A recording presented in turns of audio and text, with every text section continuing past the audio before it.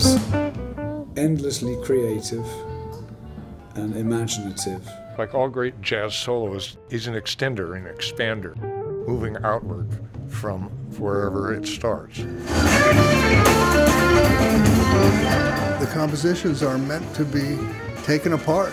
Take notes out and put notes in, and that's improvisation. Throughout the 80s, a lot of stuff happening. The sound that I was hearing from him led me to my own sound, too. John got the gig with Miles Davis and was doing all kinds of amazing things. I've been lucky. I've been in the right place at the right time, and I've also made good use of the luck that was handed to me, you know.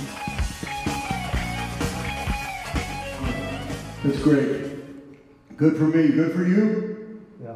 Okay.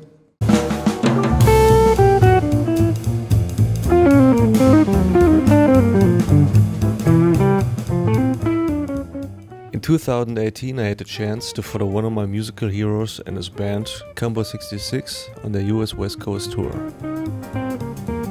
For two years, I've captured almost 50 hours of exclusive footage on the professional and personal life of one of today's greats of modern jazz, John Scofield. When Joerg came to me to ask me if he could make a film about me and my music, I didn't know what he had in mind, but it turns out it's uh, really an ambitious project. What I'm striving to achieve goes beyond most of the ordinary jazz documentaries.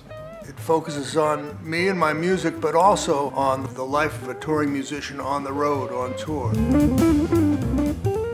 Driven by John's mesmerizing music and a rather unconventional artistic approach to storytelling, cinematography, and animation, the cinematic monument of a colorful, ongoing musical career will become a love letter to jazz. I think it's going to be a real in depth look at jazz music, which is always changing. Any contribution to this campaign would help finishing post production and everything else that's needed for a festival premiere in 2021. So please support Joerg Steineck and his making of this movie. Thank you so much for helping me getting this film made.